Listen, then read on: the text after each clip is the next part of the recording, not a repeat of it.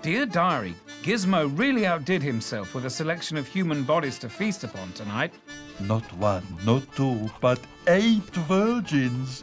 And it was not even a special occasion.